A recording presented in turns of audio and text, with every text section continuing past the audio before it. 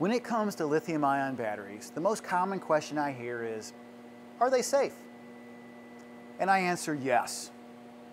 They are safe because of a coordinated protection system that is both an active management and passive protection. That active management is performed by the battery management system here, and that's actively looking at voltage, current, and temperature. Coupled with that is the passive protection mechanisms that are in each battery module. And those are protecting on overcurrent, over temperature, and over pressure. Come on down to the Innovation Executive Briefing Center and we'll test them.